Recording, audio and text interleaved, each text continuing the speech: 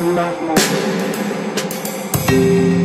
yourself and others the way they are, the way you are. Just love. Just